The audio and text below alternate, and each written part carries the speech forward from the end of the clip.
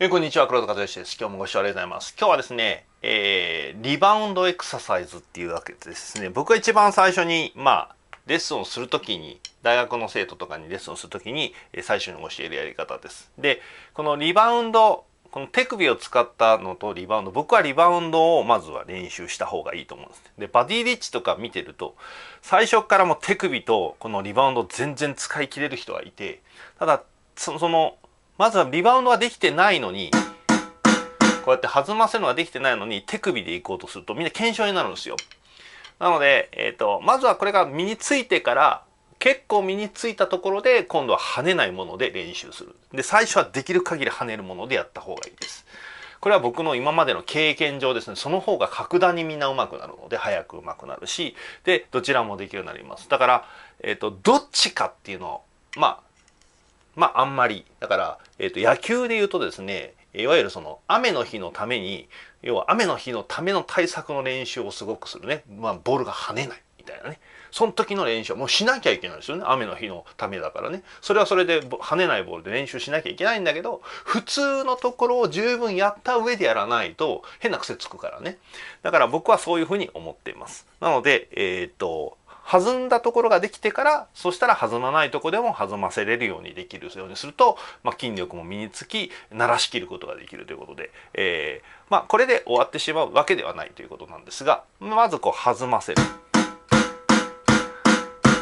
この時にもうできる限りこうこれはもうデーブ・エックルが言ってたのが10メモリあって2までしかあんた力入れちゃいけないよってあとは挟んでるだけで勝手にこう動くでしょ？みたいな。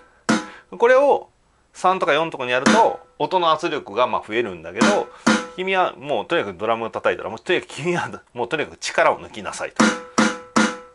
えっといかにこうリバウンドを制するかっていうところをずーっともう授業中ずっとそればっかでしたね。なのでこういうふうに。でまあ軌道ですね結構みんなここ軌道グラグラになるんでまっすぐのところね。でこれだからこの角度が変わるのをちょっとうまくここで微調整しないとうまくこうこうまっすぐならないんですよ。でこうやって練習して123422343234234そしたら反対で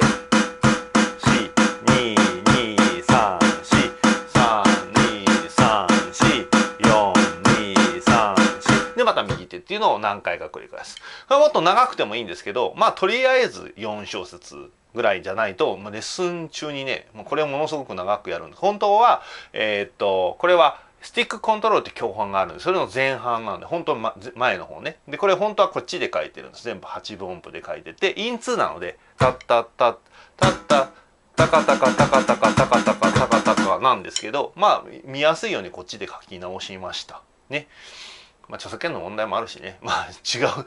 あくまでも創作で。まあでもまあ基本こういう練習ですよ。で右手でなんでここで止まるかって4小節の感覚を身につけるため。ついでについでにね。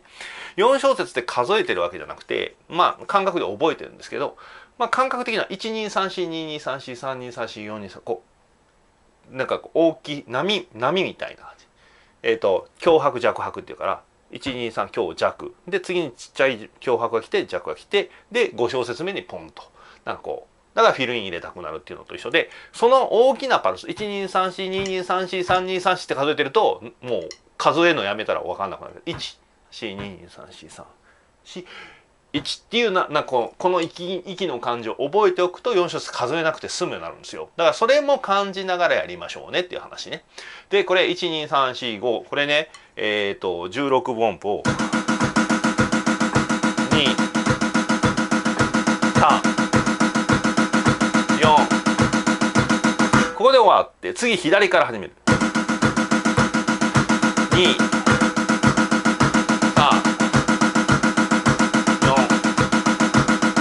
ていう練習をします。で、ここはまあいいじゃん。で、ダブルでやると、で、この、この教本ずっとこれがね、もうたくさん書いてあるんですよ。だからスティックコントロールね、この組み合わせが。いやなんや簡単やんと思ったんですけど、要は大事なのは音が揃うかどうかね。だから、いいダブルソロ。もっとゆっくりでいいです。要は、シングルでやってもダブルでやってもパラディドルでやってもこうどれでやってるのかわからないぐらいクオリティが高い。要はここからたまたまこっちの手。たまたまこっちの手。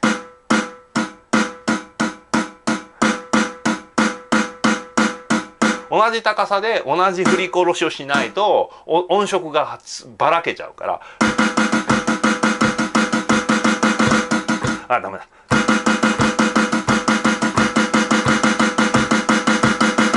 どんな手順でいってもうまくなるようにこう均等になるように練習しましょうねっていうやつなのね。でこれ右からいったら左からやると。そしたら次ダブル。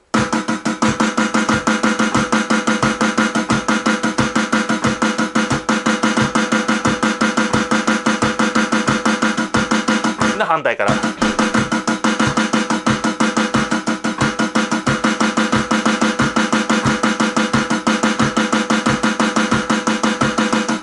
う練習をするとこの最後の拍でやると4のこうふって空気を覚えつつみたいな。今結構揃ってないけどね。まだあの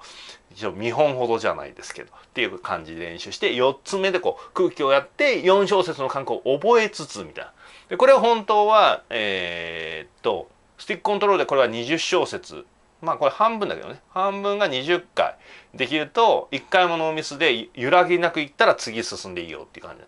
じで20回って結構ね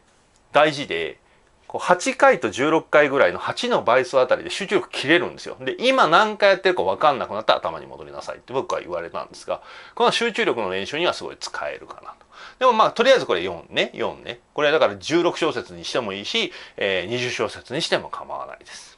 20小節目にこのトンで止まってねみたいな自分がコントロールできればいいってことね。でまあわ分かりやすいの4じゃんみたいなだから4で練習でパラディトル。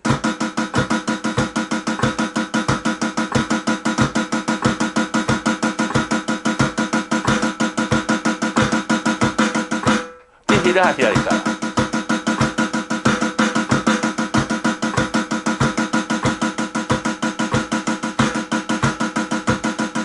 はいこういう感じですねあのちょっと揃ってなかったかなで次インワードでこの名前のやつはまたちょっと別の動画でまとめるんですが、えー、4番は、えーと、ダブルが真ん中くる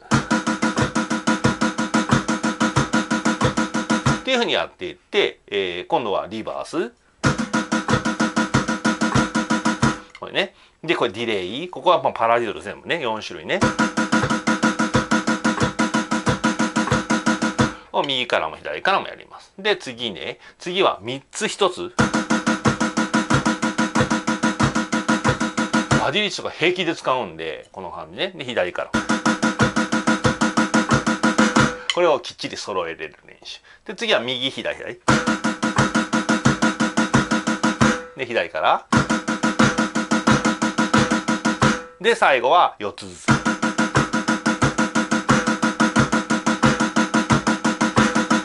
という練習を全部やっていくとこれをまあ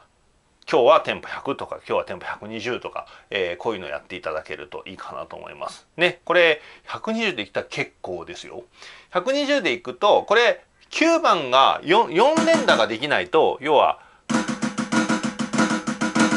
フランパラディオルってここ輸送4連打が出るんですよ。ってことは120でこの9番が叩けないことには、えー、120でフランパラディルはできないということなんですね。なので120までは、えー、やりましょうということで120でこれをタラタラタラタラやっていくということですね。結構これクオリティを高くすると音を揃うところのハードルを高くするとかなり時間がかかるんでこれをやると要は音が自動的に揃うようになってきて要は粒が揃うとその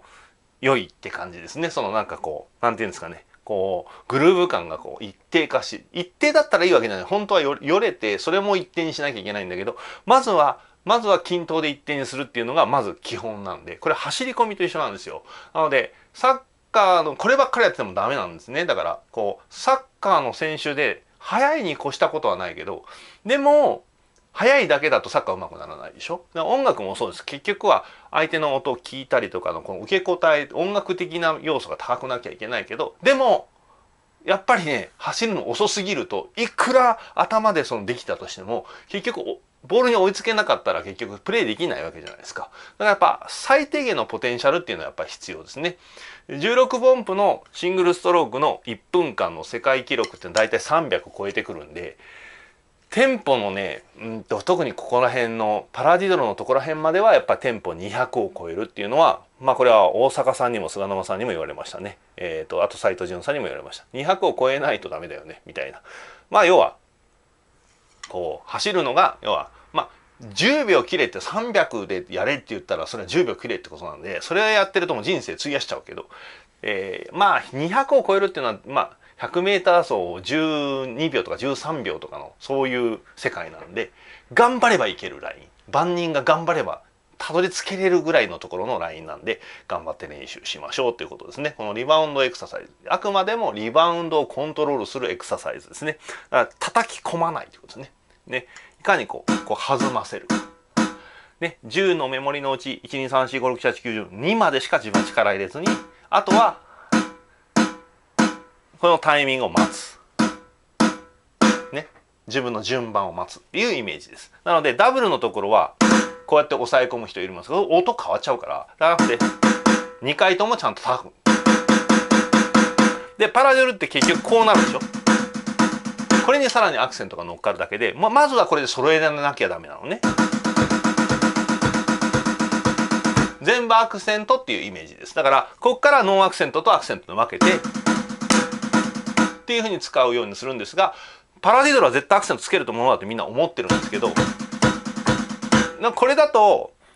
使えない時が出てくるんで、ね。なのでしっかりちゃんとこうコントロールできるようにしていきましょう。ということで基礎練習のコーナーでございましたが、えー、リバウンドエクササイズってやつですね。ぜひやってみてください。これだからこの、このやり方でスティックコントロール全部やったら相当ですよ。相当。だから、まあ、バディリッチのちょっと今度やり、やりますけど、えっ、ー、と、やつなんかは、この、もう全部右手にアクセントをうまく集約しながら、まあ、3ストローク使ったり、オールサイド使ったりとかを今、ね、間にねじ込んでくるんだけど、全部これですね。これです。レードバックしてるってとこがポイントですが、そこら辺はまたちょっとまとめてやりたいと思いますが、というわけで本日は以上になります。今日も最後までご視聴ありがとうございました。今日も最後までご視聴ありがとうございました。今日の動画があなたにとって面白いなとかためになったなと思われる方は、いいねボタンを押してください。チャンネル登録の方もよろしくお願いします。私のメールマガジンがありますので、詳細の欄から URL がありますから、そちらで紹介ページの方でぜひメールマガジンのご検討ください。毎日僕からメールが届きます。ジャズドラムのこととか、ジャズの歴史のこととか、心理学のことについて毎日動画とその解説をお送りしますので、よろしくお願いします。3大特典もついておりますので、ぜひご検討ください。それでは今日は最後までご視聴ありがとうございました。黒田和義チャンネルでした。